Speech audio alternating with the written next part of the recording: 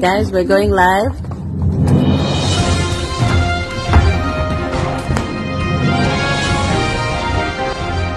Thank you and welcome to the news tonight with me, Monita Yunus. I'm Ishik Sharora and the top story tonight.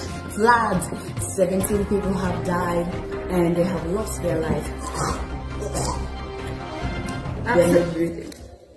Absolutely, the government says that this is because of the El Nino rains that weatherman has said will go on for the next two months. We have Timothy on standby. Yes, Did Timothy. you hear him? Timo.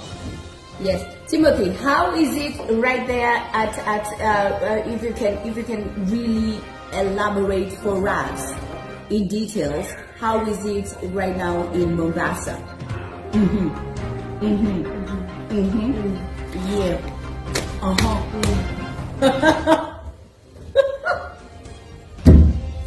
Is eating shawarma. Timothy,